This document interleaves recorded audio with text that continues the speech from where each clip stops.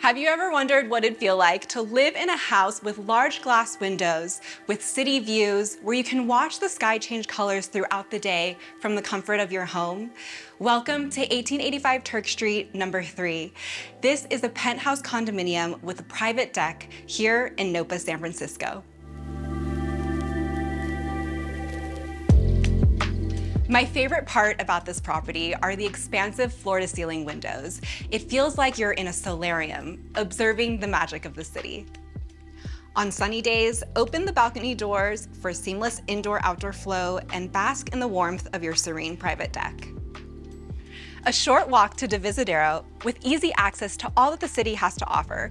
Coming home to your private city perch never felt so good. I'm Brandea Bunnag with Willowmar Real Estate, and I can't wait to give you a private tour.